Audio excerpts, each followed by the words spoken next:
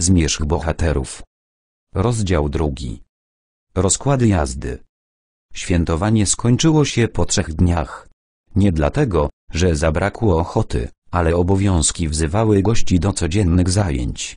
Pierwszy wyjechał Stanisław Zubrek, na dyżur w szpitalu w Mińsku Mazowieckim, gdzie komendantem był oficer radziecki. Jeszcze przed wyjazdem zapowiedział Zubrykowi, że niedługo przyjdzie im się rozstać. A czemuż to, zdziwił się felczer. Niedobrze pracuje czy jak? Wy, Stanisław Piotrowicz, haraszo rabotajecie, ale potrzeby są takie, że musimy was przenieść. Gdzie? U was ziemi niet, żeny niet, dietej niet. No, wy wolny człowiek. Wam wszystko jedno, gdzie żyć będziecie, wcale nie wszystko jedno, zaprotestował żywo, bo ja stąd jestem, z Mińska Mazowieckiego. I dobrze, ciągnął niewzruszony komendant. Ale tam, na zachodzie, ludzi brakuje i prikaz przyszedł taki, że każdy szef szpitala musi ochotnika znaleźć. No to ja was właśnie wyznaczam. Ja nie ochotnik, nawet w wojsku już nie jestem, zwykły cywil, ale na ziemiach zachodnich, Stanisławie Piotrowiczu, przed wami wielkie perspektywy. Mieszkanie dostaniecie, pracę w szpitalu. Może ordynatorem zostaniecie albo i dyrektorem. Gdzie tam, przecie ja tylko felczer jestem, zdziwił się Zubryk dobrodusznie. Za to jaki fachowiec? Położnik. A w tym kraju kogo jak kogo, ale nowych ludzi nada przede wszystkim. Medyk pokiwał tylko głową, nie wiadomo, czy wątpiąc w swoje umiejętności, czy w szczęście. Fachowców odrodzenia trzeba, kontynuował przełożony. Żeby jak? Najwięcej Polaków narodziło się. Zubryk już miał na końcu języka, że jak mołojcy z sowieckiej armii dalej tak poczynać sobie będą z tamtejszymi Niemkami, to przybyć przybędzie, ale raczej nie Polaków. Wy, pan Stanisław, rzekł Rosjanin tonem nieznoszącym sprzeciwu, jedźcie tiepier na propusk, na etus Fadbu. A po powrocie będzie na was czekał nowy przydział. I czekał. Gdy felczer wrócił z wesela, w szpitalnej kancelarii już był gotowy pakiet niezbędnych dokumentów. Zubryk z obawą zerknął na miejsce przeznaczenia. Szpital w Świdnicy. Wzruszył ramionami. Po chwili jednak uznał, że ujdzie. Mogło być gorzej. Tam w okolicach sporo wojska, a przy wojsku, wiadomo, zawsze bezpieczniej. Nie minęły dwa tygodnie, gdy spakował, co miał, wrzucił toboły na ciężarówkę i wraz z dwiema pracownicami szpitala, które dostały przydziały do Wrocławia i Oławy, wyruszył na ziemię odzyskane. Czereśniakowie zebrali się po dwóch dniach. Chodź, Tomuś, rzekł stary. Do domu nam trzeba.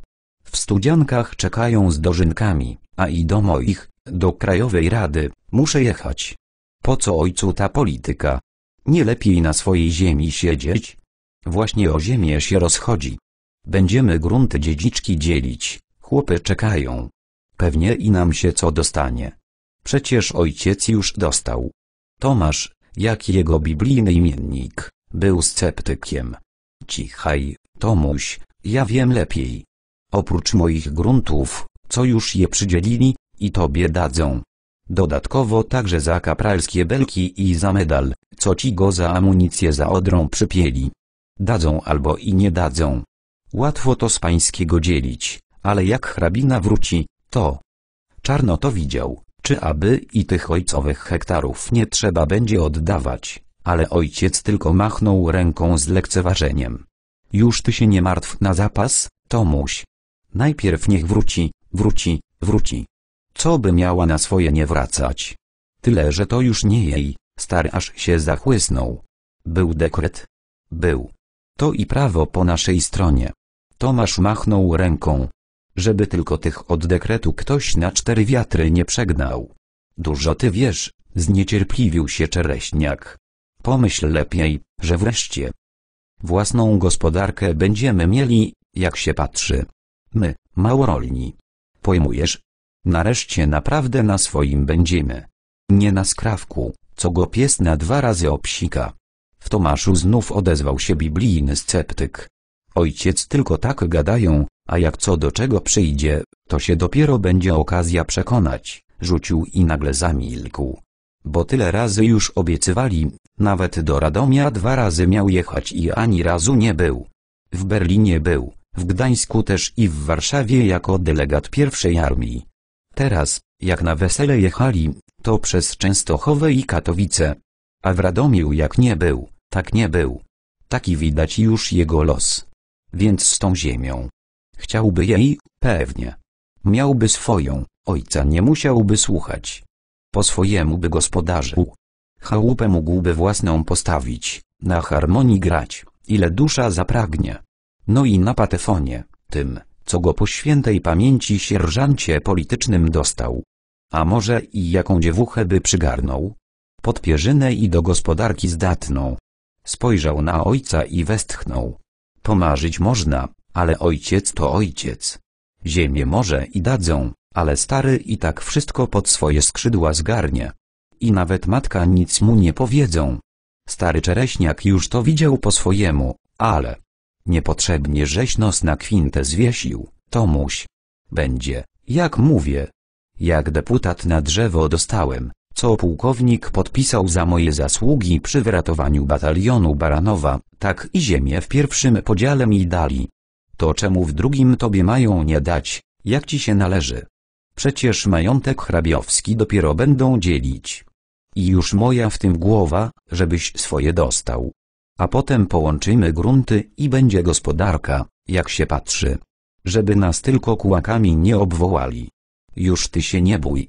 Tomasz, mimo że nosił mundur z kapralskimi belkami, od dwóch tygodni był już w cywilu. Chłopów jako pierwszych, na żniwa, zwalniali do rezerwy.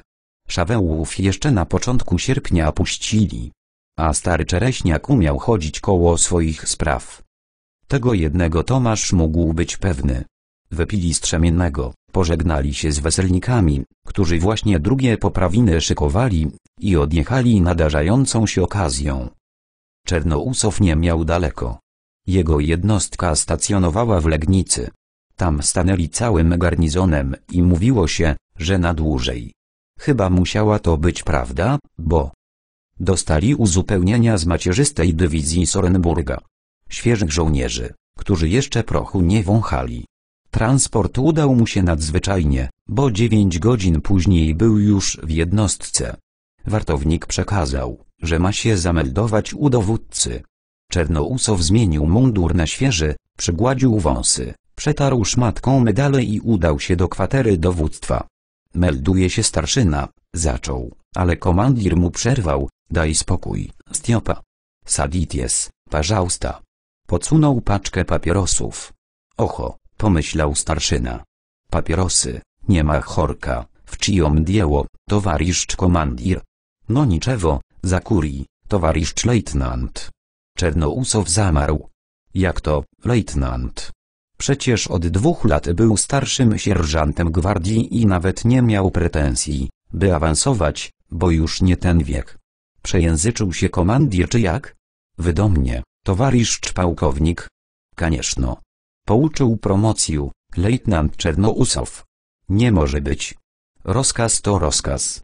Od dziś możesz gwiazdki przypinać, Stiopa, rzekł pułkownik. Postawił na stole dwa stakanczyki i litrową butelkę samogonu. Jakie czasy, taka hara, powiedział. Tak czy owak, awans trzeba oblać, bo gwiazdki zardzewieją. Czernousow pokraśniał. To może ja coś zorganizuję, towarzysz pułkownik. A co masz? Francuski Napoleon ze starych niemieckich zapasów. Napoleon dobra rzecz, dla świeżego oficera w szczególności. Choć i on nam rady nie dał, zaśmiał się krótko. Za słaby. Na twarzy Czernousowa pojawił się niepewny uśmiech. Komandir klepnął starszynę w kolano. No, Stiopa, dawaj. Pokonamy go jeszcze raz. Kwadrans później Czernousow miał już po dwie gwiazdki na każdym pagonie. Od dawna ci się należało. Zasłużyłeś, jak mało kto, ordion Lenina ja pouczył i dumał, czy to chwatit. Komandir uznał, czy to nie chwatit istniała z tebie oficera. Ty nużen zdies, w Polszy.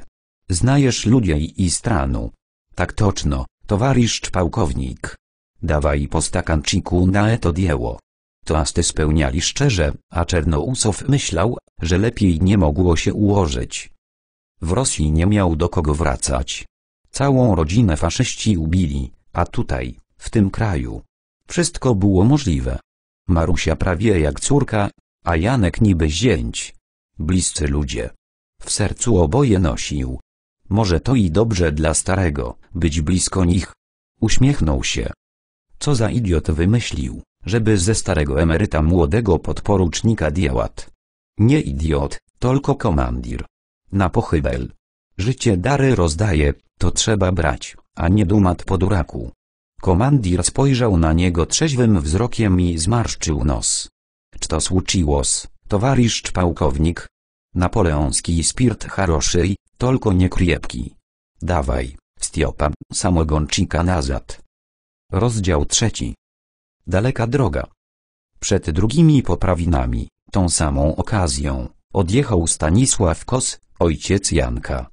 Najpierw z Czereśniakami do Katowic, a potem już sam, pociągiem, z przesiadkami przez Częstochowę, Bydgoszcz i Czew. Do Gdańska dojechał po dwóch dniach. Pociągi chodziły z przerwami. Nie było rozkładów jazdy, a nawet jak były, mało kto ich przestrzegał. Pociągi stawały w polu bez uprzedzenia i bez uprzedzenia ruszały. Wagony pasażerskie były przemieszane z towarowymi i tylko od przypadku lub szczęścia zależało, kto do jakiego się dostał. Wiele osób podróżowało na dachach. Najgorzej, gdy wagony wjeżdżały w tunele.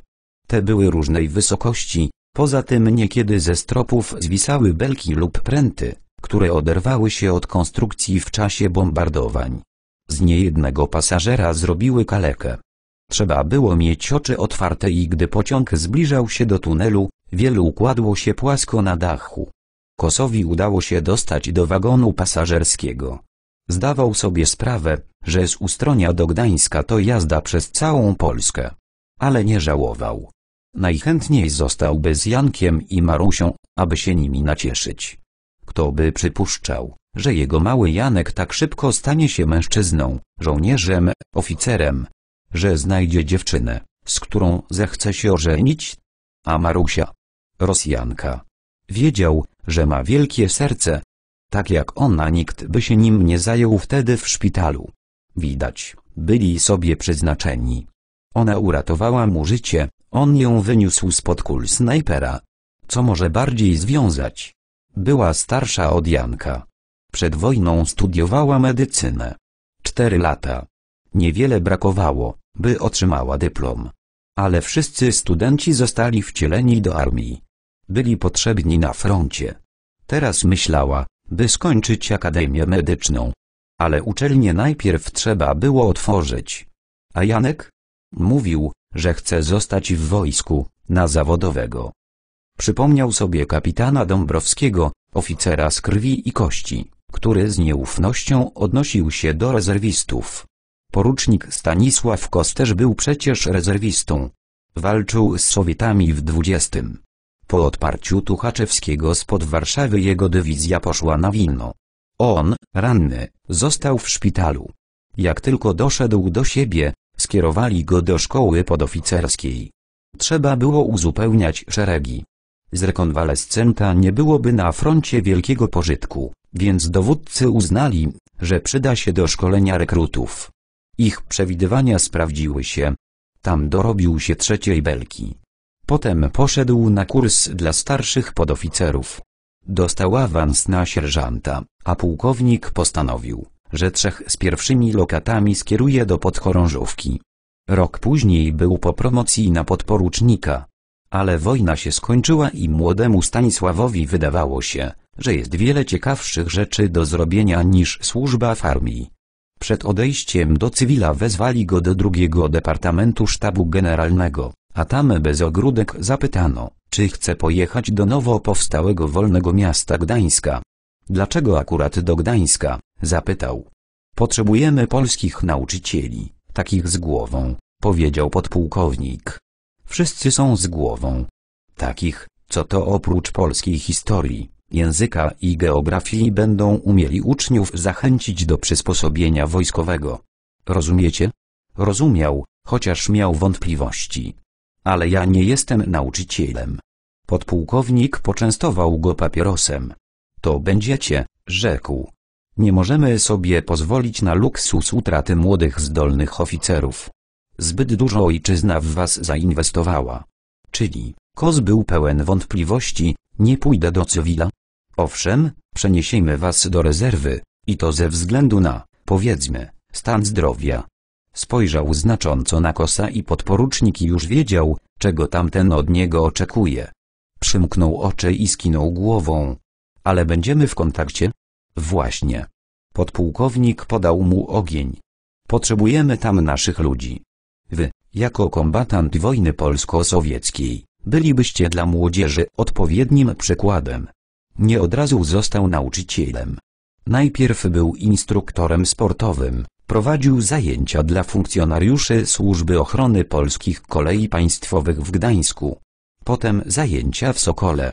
Niemcy z Gdańskiego Senatu od dawna uważali, że to organizacja paramilitarna, więc zakazali jej działalności na terenie wolnego miasta. Ale niedługo potem powstały placówki macierzy szkolnej. Najpierw szkoły powszechne, potem także gimnazjum. Został nauczycielem ostatnich klas. Prowadził przysposobienie wojskowe. Przedmiot wciąż zmieniał nazwę, jako że Gdański Senat nie zezwalał, by polska młodzież uczestniczyła w podobnych zajęciach o charakterze półwojskowym. Ponadto uczył wychowania fizycznego, historii i geografii Polski. Czasami wyjeżdżał z uczniami na biwaki do Tczewa lub Gdyni.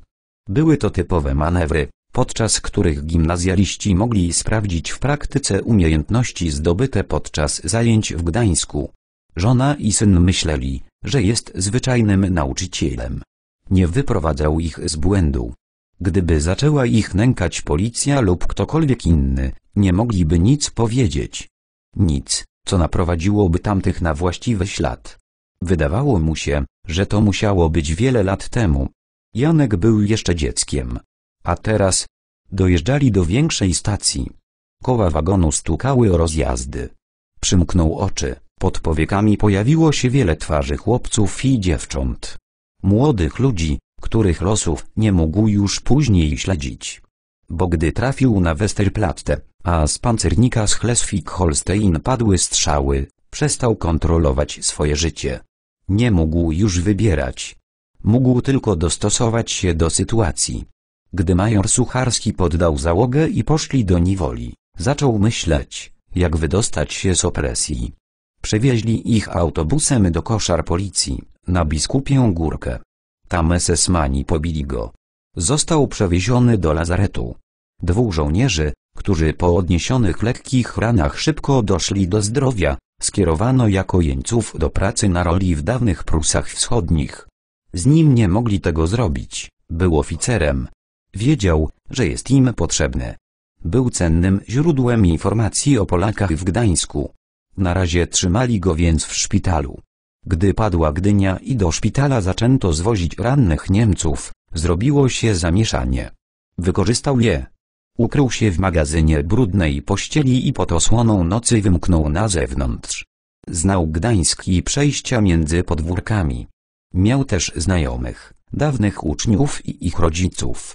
Trudno było zakładać, że wszyscy zdołali się uchronić przed wojenną zawieruchą, ale miał szczęście. Resztkami sił dotarł do kamienicy, w której mieszkał dawne woźne gimnazjum. Nie zastał go, ale rozpoznała go jego żona. Kilka dni później, gdy jeszcze trwała obrona Helu, wyjechał z Gdańska na furmance, przykryty starymi szmatami. Zatrzymał się u Formeli, starego Kaszuba, którego znał jeszcze z bitwy warszawskiej. Przesiedział u niego dwa lata, a potem, gdy powstał Gryf Pomorski, polska organizacja wojskowa, utworzył swój oddział. Niewielki, sześcioosobowy, ale w tych warunkach utrzymanie większej grupy było niemożliwe. Nie tylko ze względu na zakwaterowanie i wyżywienie, ale i dlatego, że w okolicy pojawiło się zbyt wielu Niemców. No i zaczęło się. A to ostrzelano posterunek żandarmerii, a to zniknął patrol, który wyznaczał kontrybucje. Ktoś napadł na posterunek, gdzie trzymano papiery wyznaczonych do wywózki na roboty. Działo się. Aż do nadejścia Rosjan. Wtedy oddział rozproszył się, a on sam. Jedyne, czego pragnął, to pozbyć się Niemców. Aby ich przegnano jak najdalej. Dlatego, gdy Rosjanie poprosili o pomoc, nie odmówił. Potem błogosławił tę chwilę, bo przecież gdyby nie to, pewnie nigdy nie trafiłby na ślad Janka. A teraz jego syn, dorosły, z gwiazdkami podporucznika i Marusia. Rosjanka. Nigdy by nie pomyślał, że coś takiego może się spełnić. A jednak. Janek nie pytał go o zgodę na ślub. Tak chciał i tak zrobił. Widocznie uważał to za słuszne, a on, ojciec, mógł jedynie to zaakceptować. I on, przedwojenny porucznik, był za tym całym sercem. Bo jego syn był szczęśliwy. Pociąg znów ruszył. Patrząc na mijane pola, z których niewiele było uprzątniętych, bo przecież wiosną, w czas wielkiego natarcia, nikt nie myślał o siewie, zadumał się nad przyszłością syna, że pewnie niedługo dostanie drugą gwiazdkę, a jeśli zostanie na zawodowego, to za jakiś czas i trzecią. I tak potoczy się jego życie. A on należał do tej armii, która po zwycięskiej wojnie nie miała dla swoich żołnierzy ani nagród, ani awansów.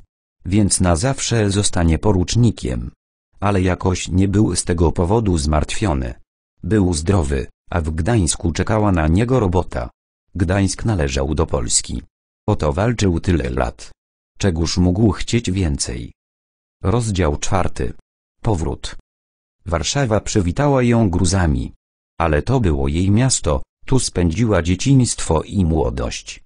Mówili, że nic z niego nie zostało, ale nawet jeśli to były tylko ruiny, to gdzie miałaby wracać? Łudziła się, że znajdzie swoich. Matka już się odnalazła i nawet napisała, że udało się jej zająć ich dawne mieszkanie w żółtym domu na Wileńskiej. Wprawdzie niecałe, bo dwa pokoje zajęli byli więźniowie kacetu, ale zawsze były to własne ściany, które pamiętała sprzed wojny. Może i zostałaby w brygadzie. Nie na długo, na kilka miesięcy, gdyby nie Grześ. Był wciąż przy niej. A tam tylu fajnych chłopców. Oficerowie. Niektórzy zostawali na zawodowych. Kilku było naprawdę przystojnych. Nie trudno byłoby się zakręcić wokół któregoś, gdyby nie Saakaszwili. Tak jej dokuczył swoimi zalotami, że postanowiła jak najszybciej wyrwać się do cywila. Napisała raport i w ciągu dwóch tygodni została przeniesiona do rezerwy. W praktyce oznaczało to, że mogła wreszcie przebrać się w cywilne ciuchy i pójść, gdzie oczy poniosą. Nie chciała zrażać Grzegorza, bo gdyby się uparł, mógłby jej narobić kłopotów. Nie wyglądał wprawdzie na takiego, ale Litka wolała dmuchać na zimne. Wiedziała, że kobieta, która ufa zranionemu przez siebie mężczyźnie, z równym powodzeniem mogłaby bawić się z wściekłym psem. Postanowiła więc trzymać się od niego z daleka. Ustalili, że Grześ rozpocznie starania o przeniesienie do któregoś z batalionów stacjonujących w pobliżu Warszawy, ale liczyła, że nie pójdzie mu łatwo. Szła ulicami Pragi, która nie była tak zniszczona, jak Warszawa lewobrzeżna. Wiadomo, tam było powstanie. A tu jakby inny świat. Owszem, niektóre kamienice były zniszczone, większość nosiła widome piętno przechodzącego frontu. Ale gdyby tak przymknąć oko, można by pomyśleć, że to ta sama Warszawa, co przed wojną. Gdyby nie sowieccy żołnierze i ludzie byli jak poubierani, zwykle w części garderoby przerobione z radzieckich, polskich, a nawet niemieckich sortów mundurowych. Nieliczne angielskie dresy uważane były za przejaw elegancji. Litka, w mundurze z naszywkami sierżanta, które dostała na tydzień przed wyjściem do cywila, szła wolno z wypakowanym plecakiem. Obejrzała się za dziewczyną w sukience. Jakże jej zazdrościła. Sama miała w plecaku podobną, też niebieską w kwiaty, może tylko w innym odcieniu, ale nie odważyła się jej włożyć, bo do kompletu brakowało pantofli. Nie chciała wracać do domu ubrana jak kołchoźniczka, w sukience i saperkach. Zdecydowała się na mundur. Zawsze to bezpieczniej dla kobiety w podróży. Minęła ją para, przystojny blondyn i szatynka z fantazyjnym loczkiem nad czołem. Obejrzała się. Szli zapatrzeni w siebie, zakochani, nie zwracające uwagi na otaczający ich świat. Nie było ważne, że ona miała stare, znoszone sandały, a on dwie różne tenisówki, jedną szarą, a drugą czerwoną. Szli przytuleni, a dziewczyna z dumą trzymała przy piersi bukiecik fiołków, które pewnie dostała na przywitanie. Litka wiele razy wyobrażała sobie, że idą z Jankiem ulicami jej Warszawy, tak jak teraz tych dwoje. Z marzeń jednak niewiele zostało. Może rzeczywiście wtedy, nad oką, gdy wróciła ze szkolenia, coś między nimi poszło nie tak. Ale przecież to nie powód, by wszystko przekreślać. Razem jechali do armii, dał jej rękawice z jenota, jako prezent zaręczynowy. Kto by tam wtedy na Syberii szukał pierścionka? A takie rękawice były na wagę złota. A już na pewno, odmrożonych dłoni. Kilka miesięcy później, na moście niedaleko stąd, może kilometr, gdy Rudy wjechał na minę i zaczęli się palić, uratowała mu życie. Wyciągnęła go z płonącego czołgu, a potem pojechała do szpitala. Ten szalik, który zrobiła na drutach, był przecież na przeprosiny. W głębi serca uważała, że Janek wciąż należy do niej, a ta Rosjanka, Marusia, jest z nim tylko tymczasowo. Co z tego, że wzięli ślub? Istnieją przecież rozwody.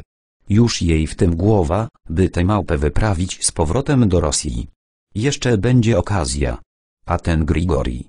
Jak właściwie mógł poważnie potraktować ten ich poryw? Przecież wiedział o Janku. Wszystko mu powiedziała podczas podróży do Schwarzerforst i potem, gdy hitlerowscy spadochroniarze uwięzili ich w wozowni. I co, w jednej chwili uwierzył, że mogłaby się w nim zakochać. Z dnia na dzień? A on sam? Przecież od wyzwolenia Gdańska do samego Berlina wciąż tylko rozprawiał o Hance Borowiance. Nosił na sercu jej zdjęcie. I tak nagle mu się odmieniło. E tam, powiedziała sobie. Przejdzie mu. Tak samo szybko, jak go naszło. O ile go w ogóle naszło.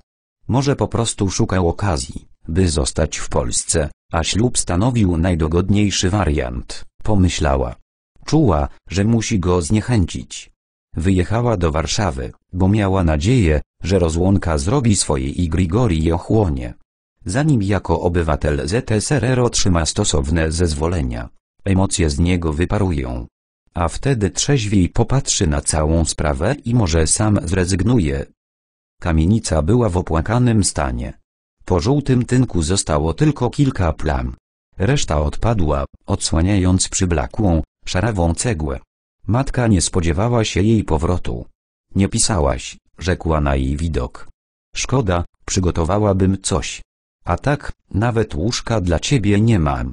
Nie szkodzi. Litka próbowała się uśmiechnąć. Coś wykombinuje. Kombinowanie. Ta umiejętność określała obecny sposób na przetrwanie. Kombinowało się na co dzień, załatwiając nie tylko sprzęty i ubrania, ale także jedzenie. Wszystko było na kartki, bez których nie dało się kupić nawet chleba. I ta nowa rzeczywistość mocno uderzyła Litkę. W wojsku nie musiała się o nic martwić, a teraz znalazła się w świecie, w którym nic nie było proste i oczywiste. Problem stanowiło zdobycie produktów żywnościowych i wymyślenie jakiegoś posiłku. W armii był kucharz i wystarczyło ustawić się w kolejce do kotła o odpowiedniej porze. Ona w sztabie nawet i tego nie musiała. Kuchcik sam jej przynosił i podawał.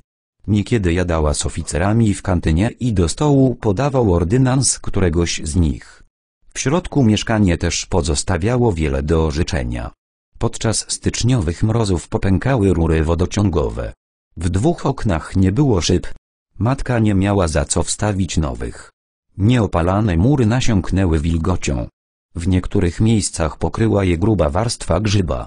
Wystarczyło rzucić okiem, by wiedzieć, że wiele drobnych uszkodzeń domaga się natychmiastowej reparacji. Początek września był bardzo ciepły, ale pogoda mogła się zmienić każdego dnia. Przeciekał dach i na suficie było widać zielonkawe kręgi pleśni. Matka jakby tego nie dostrzegała i Litka wiedziała, że zabezpieczenie mieszkania na zimę spocznie całkowicie na jej barkach.